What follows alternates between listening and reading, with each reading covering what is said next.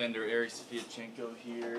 Eric, your thoughts on that result um, after early lead and falling down 2 1 here on the road?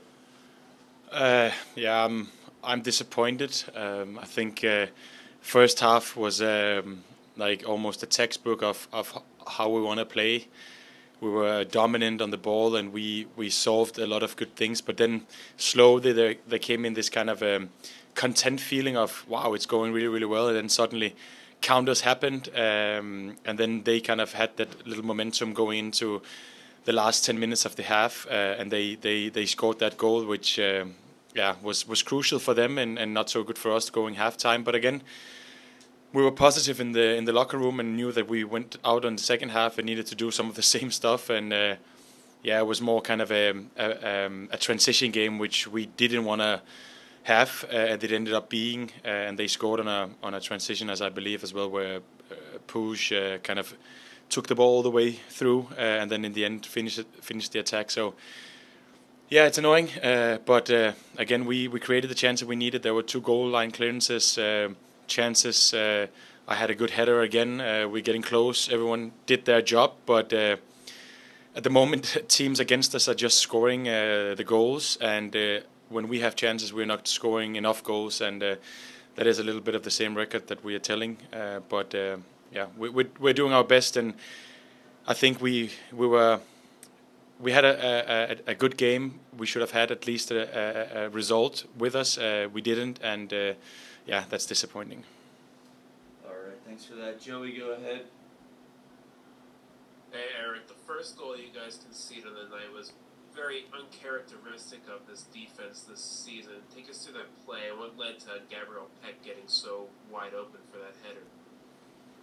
Um, yeah, it, it came out of a throw in, as I believe, over that side, and then they kind of take the back ball and they they go they go back the same side as as the throw in, and then Amine has a duel out on the side, but he kind of wiggles through that, and then uh, we are kind of shifted over, um, and then there's uh, a gap between me and Griff, but I need to follow my guy because he's going to the front post, and then uh, he's just unfortunately very very uh, wide open um, and didn't miss, but I think we held him on on a leash in the first half. Second half, there was some transition that I was annoyed by. That uh, he had some chances uh, that could have gone the, yeah, even worse for us. Um, but yeah, it it happens. Uh, mistakes. That's why football. If no mistakes were, it would be a boring game.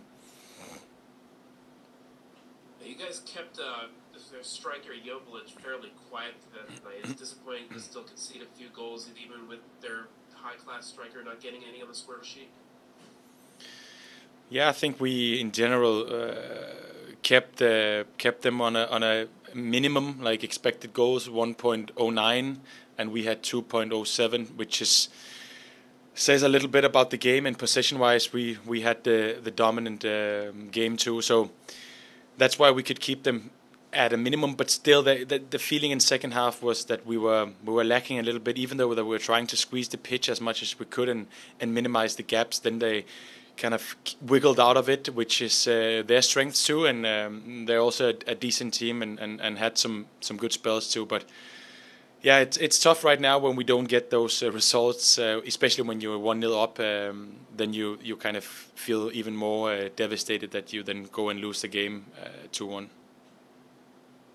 Thank you so much, Eric. All right, Jorge, go ahead. Hey, Eric disappointing loss or unfortunate loss, how does the team regroup ahead of this long week?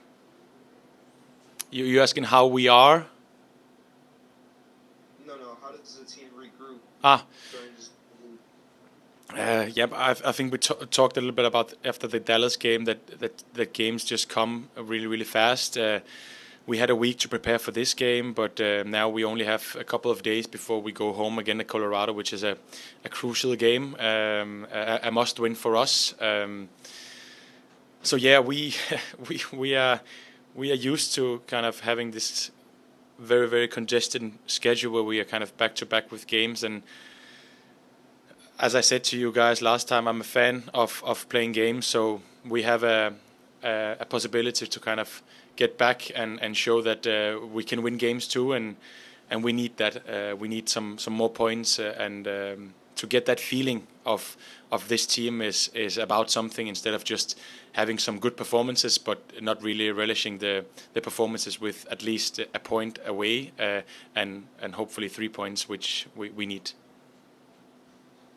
All right. Any, Eric. Is it, anything else, David? I saw a hand. Maybe not. All right. We'll wrap it up there. Thanks, guys. Thanks, guys. Eric.